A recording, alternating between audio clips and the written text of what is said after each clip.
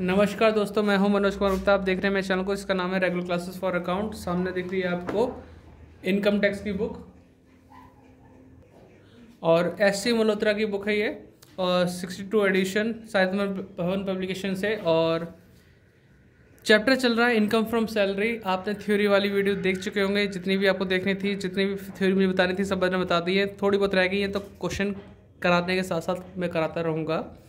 और question number one चलेगा long question का फ़र्स्ट यानी यहाँ से स्टार्ट हो रहा है। और उसके से, उससे पहले कुछ चीज़ें बता देता हूँ, जो काम आएँगी, अगर आप वीडियो को इसी से स्टार्ट कर रहे हैं अदरवाइज़ थ्योरी से कर रहे हैं तो आपको पता होगा। वरना आप ये चीज़ आप दोबारा से देख लीजिए।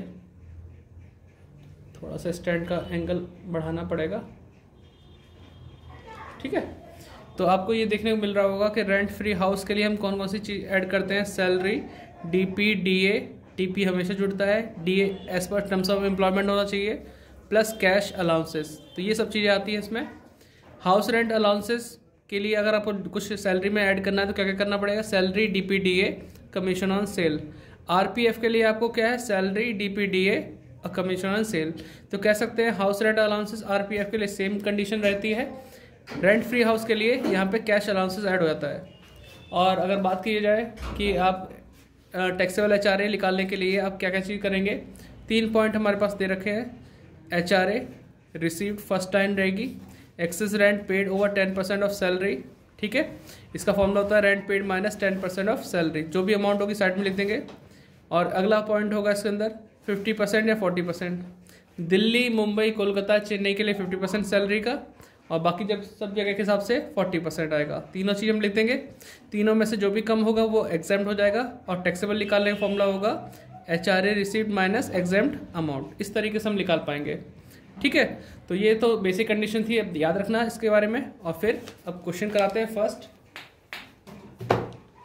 तो आप स्टैंड नीचे कर देते हैं, पहला क्वेश्चन पढ़ाते हैं, फिर आपको समझाते हैं, फिर लिखवाएँगे। ठीक है?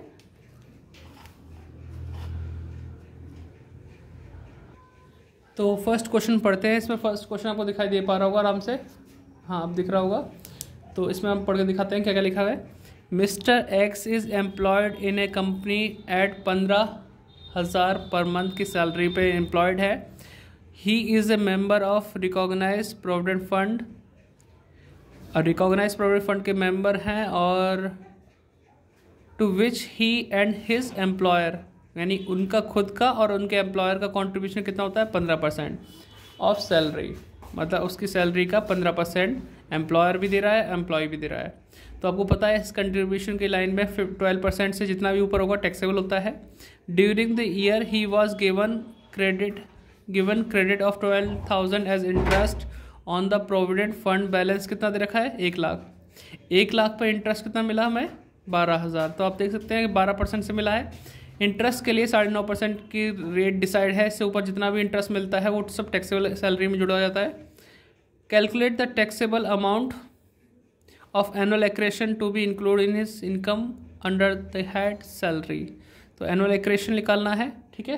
तो इसे करके दिखाते हैं सॉल्व आप इसका स्क्रीनशॉट ले लो, फिर करते हैं। और जल्दी जल्दी वीडियो आने की कोशिश करेंगे और जल्दी ही जल्दी हो जाए आपसे, उतना करेंगे कोशिश। तो सॉल्यूशन करते हैं पहले क्वेश्चन का फ़र्स्ट क्वेश्चन का। तो इनकम फ्रॉम सैलरी का स्टार्ट हो गया है। बहुत दिन से आपको तैयार था, लेकिन अब थ्योरी कंप्लीट हो चुकी है तो कराते हैं। सबसे पहले लिखते हैं यहाँ पे computation of taxable amount of annual accretion ठीक है?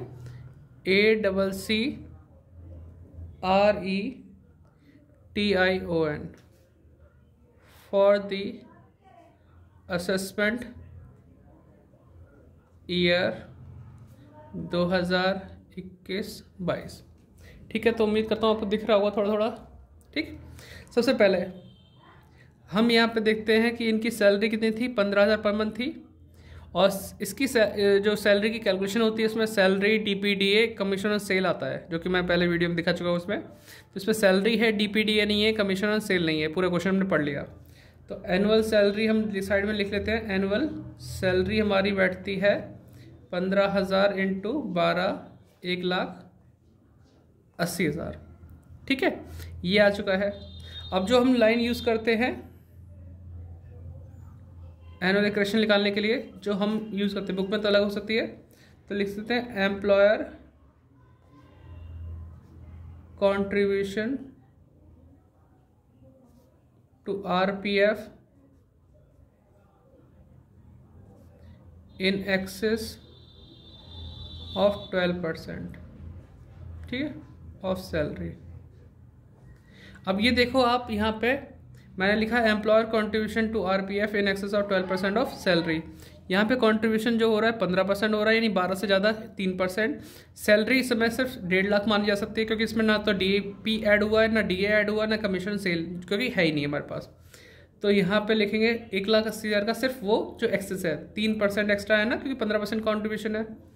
तो तीन परसेंट हुआ अठारह से चौवन. यही लिखता हूँ चौवन सौ. ठीक है? फिर दूसरा पॉइंट आता है इसमें। Interest on RPF in excess of nine nine point five percent ठीक है?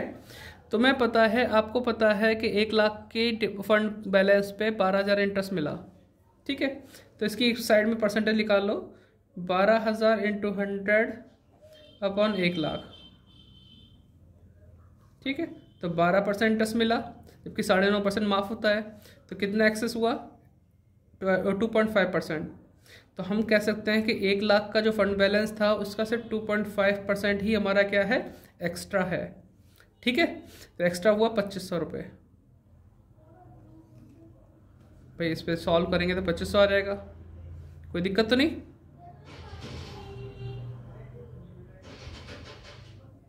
ठीक है तो इस तरीके से एनुअल एक्रेशन हो जाएगा। Seventy nine hundred